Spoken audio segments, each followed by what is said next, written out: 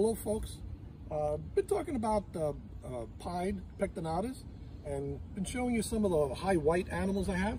Got to check this this animal out. Look, look at this black and white coloration that they have.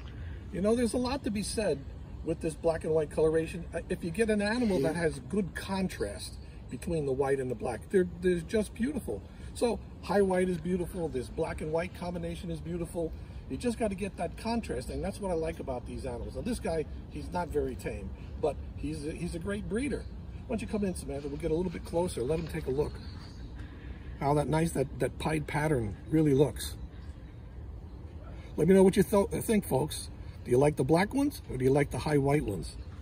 Send me a text, send me an email. Let me know, folks. Take care, everybody.